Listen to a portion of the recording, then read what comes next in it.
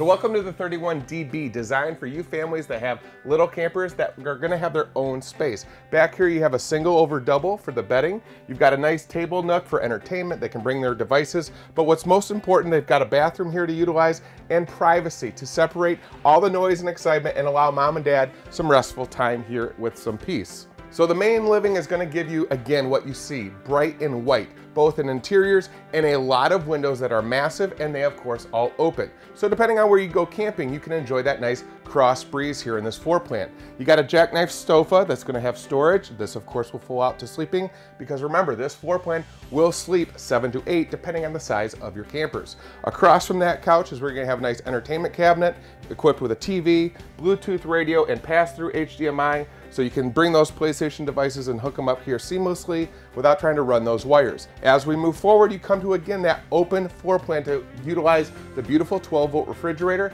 and go into this kitchen. A nice L-shaped kitchen design with a nice glass top feature to allow you to utilize the full space of the counter over this three burner stove. Of course, you get a microwave, lots of storage with nice glass inserts to make this feel very residential. Now from the hallway, you come up to the master suite. I of course pass that full bath. Here in the bedroom is what all the parents want, a true queen bed, which means all the sheets are gonna fit. You have massive storage surrounding the entire bed with CPAP access if needed. To learn more information and all the new features of this 31DB, go to heartlandrvs.com.